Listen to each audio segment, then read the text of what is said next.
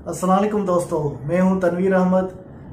क्या आपको मालूम है कि single interlock pre action system किस तरह वर्किंग करता है और कहाँ लगाया जाता है और उसके कौन कौन से मेन कंपोनेंट्स होते हैं? अगर इसकी आपको इन्फॉर्मेशन नहीं तो ये वीडियो आप आखिर तक देखें और मालूम हासिल करें single interlock pre action system की, जो फायर फाइटिंग का एक सिस्टम है, मुख्तलिफ़ लोकेशनों पे या मुख्तलिफ़ जगहों पे लगाया जाता है। आइए इस वीडियो को शुरू करते हैं। और मालूम हासिल करते हैं single interlock pre action system की।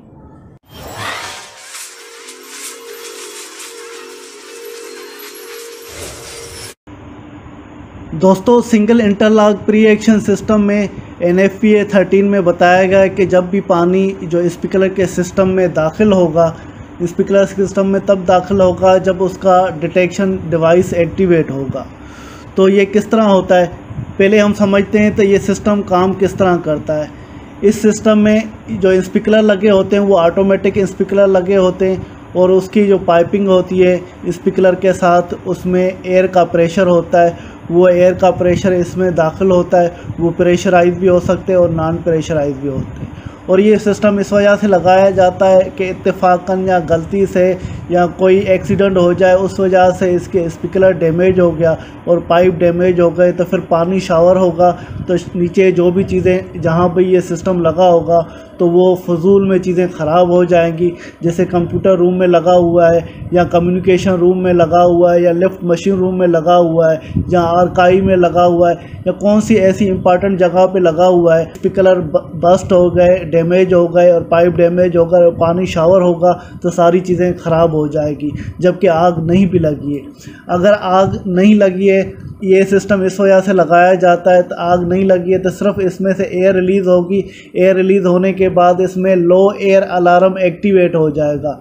लो एयर अलार्म एक्टिवेट होने से हमें पता चलेगा कि इस सिस्टम का जो पाइप है वो डैमेज हो गया या स्पिकलर डैमेज हो गया है।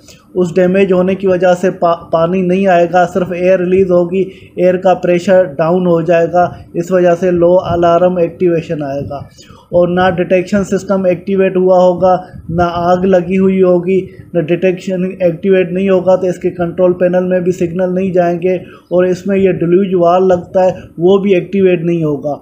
एक्टिवेट नहीं होगा जो पंप रूम से जो पानी आएगा, वो आगे स्पिकलर की तरफ़ सप्लाई नहीं होगा, क्योंकि इसका वाल बंद है, वो एक्टिवेट हुआ नहीं है। ये सिस्टम इस वजह से लगाया जाता है, गलती से जैसे स्पिकलर डैमेज हो जाए और पाइप डैमेज हो जाए दूसरी चीज़ें वो नुकसान नहीं हो, ख़राब नहीं हो। सपोज़ करते अभी आग लग गई, जैसे ये आग जल रही है, आग लग गई और इस, ये स्मोक डिटेक्टर आपके लगे जो डिटेक्शन डिवाइस लगा हुआ है, या हीट डिटेक्टर लगे हुए हैं। अगर इसने सेंस कर दिया जब ये क्या करेगा कि स्मोक डिटेक्टर है या हीट डिटेक्टर है, ये कंट्रोल पैनल में सिग्नल देगा। इस कंट्रोल पैनल में सिग्नल आ जाएँगे, वो कंट्रोल पैनल फिर ये जो डिल्यूज वाल है, इसको एक्टिवेट करवाएगा। एक्टिवेट करवाएगा क्योंकि इस डिल्यूज वाल के जो नीचे ये लाइन है, ये पाइप लाइन पंप रूम से आ रही है तो वो हमेशा प्रेशराइज होती है। और ऊपर वाली जो डिलीवरी वाल के लाइन है, जो स्पिकलर के साथ है, वो कंप्रेस एयर से प्रेशराइज होती है। मगर वाटर का प्रेशर ज़्यादा होता है और एयर का प्रेशर कम होता है। जब ये एक्टिवेट हो जाता है वाल तो इसमें पानी जाना शुरू हो जाएगा। शुरू हो जाएगा, मगर शावर नहीं होगा। जब तक ये आग लगने की वजह से स्पिकलर का बल्ब टेम्परेचर सेंस करता है अगर इसने सेंस कर दिया और ये बस्ट हो गया, फिर पानी शावर होगा, वरना पानी जो है इस लाइनों में आएगा और वो रुका रहेगा। मगर ये ऑलरेडी इसमें एयर प्रेशराइज है।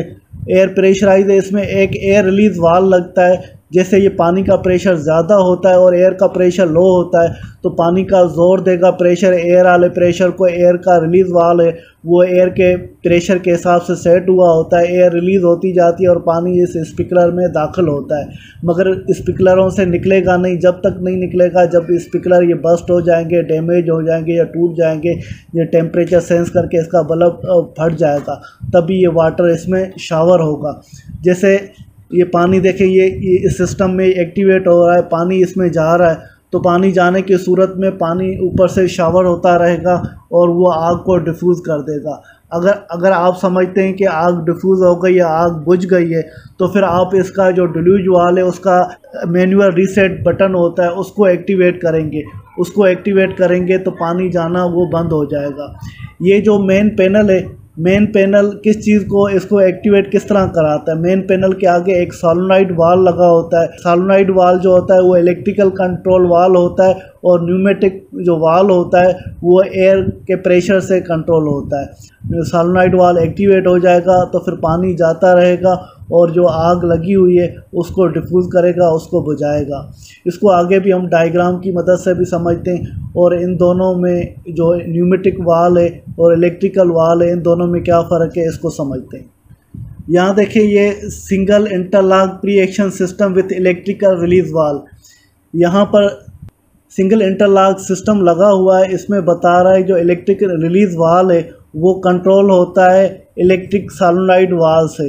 इलेक्ट्रिक सनलाइट वाल वो हमेशा कंट्रोल पैनल से कंपेक्टेबल होना चाहिए उस हिसाब से। और अगर फायर की कंडीशन में ये डिटेक्ट करता है सिस्टम को, अगर गैस डिटेक्टर है स्मोक डिटेक्टर है या हीट डिटेक्टर है, वो कंट्रोल पैनल जो है उसको सानोनाइट वाल को, जो इलेक्ट्रिकल सानोनाइट वाल है, उसको एनर्जाइज करवाएगा और उसको खोल देगा। उसको खोलने के बाद ये डिल्यूज वाल वो ओपन हो जाता है और उसमें से फिर पानी स्पिकलर की तरफ़ जाएगा। और अगर स्पिकलर ओपन होते हैं तो तब पानी जाएगा। अगर स्पिकलर ओपन नहीं होंगे तो पानी स्पिकलर की लाइनों में जाएगा, मगर वो ऑपरेट नहीं होगा। ऑपरेट तभी होगा जब स्पिकलर हेड या स्पिकलर जो बस्ट हो जाएँगे, फिर पानी की शावरिंग होती है। ये single interlock pre action system है, जो इलेक्ट्रिकल कंट्रोल है, और ये दूसरा सिंगल इंटरलॉक न्यूमेटिक सिस्टम है। ये न्यूमेटिक पंप लगा हुआ है, कंप्रेसर का पंप लगा हुआ है। वो pneumatical control pre action system में न्यूमेटिक रिलीज़ सिस्टम लगा होता है, जो थर्मोस्टेटिक रेट ऑफ़ राइज को रिलीज़ करता है टेम्परेचर पे वो रिलीज़ करता है तो न्यूमेटिक वाल होता है, वो टेम्परेचर पे रिलीज़ करता है, वो टेम्परेचर जो सब यहाँ पर ज़्यादातर जो हीट डिटेक्टर लगे होते हैं स्मोक डिटेक्टर नहीं लगे होते हैं, इस वजह से ये न्यूमेटिक वाला जो थर्मोस्टेट है, वो टेम्परेचर को सेंस करते हुए रिलीज़ हो जाता है। और इसकी जो ट्रिम है, वो न्यूमेटिकली या कंप्रेस एयर से वो कंट्रोल होती है, फिर उसको ये डिल्यूज वाल को ये ओपन करवा देती है। डिल्यूज वाल को ओपन करेगी तो सेम ही सिस्टम ये काम करेगा, पानी इसमें जाएगा, मगर वो शावर नहीं होगा शावर तब होगा जब इसका स्पिकलर बस्ट हो जाएगा, कोई एक या दो होगा तो फिर पानी उसमें शावर होना शुरू हो जाएगा। दोस्तों, अभी यहाँ पर ये, इस डायग्राम की मदद से single interlock pre action system का कॉन्सेप्ट हम क्लियर करेंगे। यहाँ पर देखें, ये डिल्यूज वाल लगा हुआ है। डिल्यूज वाल के साथ मैनुअल रीसेट एक्चुएटर लगा हुआ है। मैनुअल रीसेट एक्चुएटर ये आखिर में काम करेगा।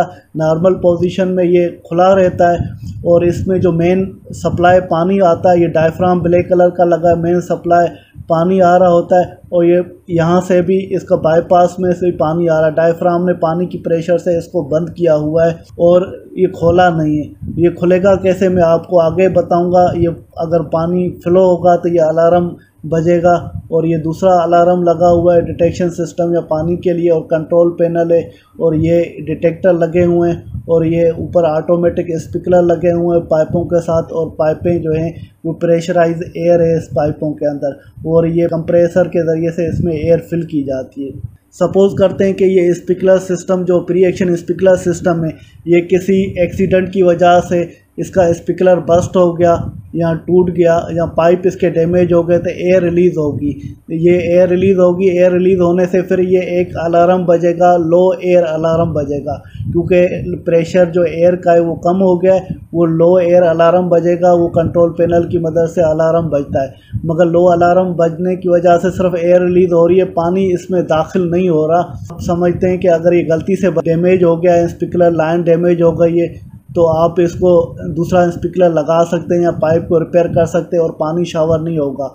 सपोज़ करते हैं आग भी लगी है, डिटेक्शन सिस्टम एक्टिवेट नहीं हुए तो फायर एक्सटिंग्विशर की मदद से भी आप फायर फाइटिंग कर सकते हैं। गलती से ये स्पिकलर डैमेज हो गया है या लाइन बस्ट हो गई है, सिर्फ़ एयर रिलीज़ हो रही है और पानी ये सप्लाई नहीं हो रहा और इसका लो एयर अलार्म बजाए और आगे देखते हैं, फिर हमने इस सिस्टम में स्पिकलर रिप्लेस कर दिया है। स्पिकलर रिप्लेस करने के बाद फिर ये कंप्रेस एयर का जो प्रेशर है, यहाँ पर मेंटेन हुआ हुआ है और ये डायफ्राम फिर भी बंद है पानी की प्रेशर की वजह से और ये सालोनाइड वाल यहाँ पर नॉर्मल सूरत में ये बंद रहता। जब सिग्नल आते इनर्जाइज तो फिर ये एक्टिवेट होता है, खुलता है। अभी ये देखें, ये नॉर्मल हालत में कंप्रेस एयर है। आग लग गई है और आग लग गई है स्मोक डिटेक्टर सपोर्ट कर डिटेक्शन डिवाइस लगे हुए हैं। आग लगी है स्मोक डिटेक्टर ने ये डिटेक्ट किया, ये कंट्रोल पैनल को सिग्नल देगा और ये अलार्म बजाएगा। अलार्म बजाएगा और ये सालोनाइड वाल है, वो एनर्जाइज हो जाएगा। एनर्जाइज होने के बाद ये वाल खुल जाता है। देखिए, ये एनर्जाइज होने के बाद वाल खुल गया और यहाँ से पानी जो है सालोनाइड वाल का वो ड्रेन हो रहा है, निकल रहा है बाहर। और इसका ये अलार्म बज रहा है तो डिटेक्शन सिस्टम एक्टिवेट हो गया और सालोनाइड वाल से पानी निकल रहा है और इसका प्रेशर कम हो रहा है। इसके प्रेशर कम होने की वजह से सालोनाइड वाल आस्ते आस्ते ये बंद होता जाता है और पानी इसमें सप्लाई होता है। पानी ये देखें सप्लाई हो रहा है और ये जो डिलूज वाल है ये एक्टिवेट हो गया है। एक्टिवेट किस वजह से हो गया है? क्योंकि इसने डिटेक्शन सिस्टम को सेंस किया है, वो एनर्जाइज ये हो गया, ये डिलूज वाल एक्टिवेट हो गया और पानी इसके अंदर दाखिल हो रहा है।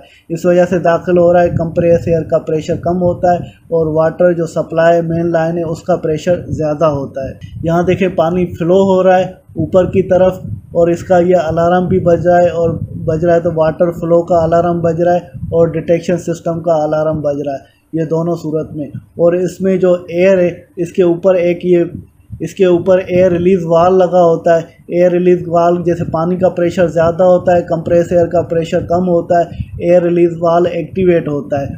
यहाँ पर देखें एयर रिलीज़ वाल एक्टिवेट हो गया और उसके बाद पानी जो लाइनों में पहले नहीं जा रहा था, अभी पानी जा रहा है, क्योंकि ये टेम्परेचर की वजह से ये बस्ट हो गए और ये इसका बल्ब फट गया है, तभी इसमें पानी शावर हो रहा है। अगर ये बल्ब या स्पिकलर इन्हें नहीं बस्ट होगा तो पानी ऊपर रुका रहेगा और इसका जो एयर रिलीज़ वाल है एयर रिलीज़ वाल से सिर्फ़ एयर रिलीज़ हो जाएगी और स्पिकलर तक ये पानी आएगा, मगर शावर नहीं होगा। शावर तब होगा जब ऑटोमेटिक ये स्पिकलर ये टेम्परेचर सेंस करके ये बस्ट हो जाएँगे, फिर वाटर की शावरिंग होगी और ये आग डिफ्यूज़ होती रहेगी, आग बुझ जाएगी।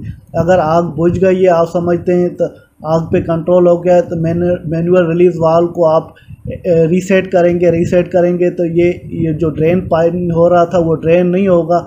यहाँ से बंद हो जाएगा, ये मेन सप्लाई वाला पानी फिर ये डायफ्राम को पुश कर देगा नॉर्मल सूरत में आ जाएगा। और उसके बाद फिर ये नॉर्मल कंडीशन में कंप्रेस एयर आप प्रेशर डाल सकते हैं स्पिकलर इसके रिप्लेस करेंगे और कंप्रेस एयर का प्रेशर होगा, ये वाटर पहली वाली सूरत में वापस आ जाएगा।